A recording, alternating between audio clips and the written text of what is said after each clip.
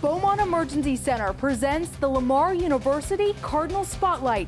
Meet basketball phenom Chastadie Barrs, the new NCAA record holder. Sunday night on KFDM 6 News, you can count on us.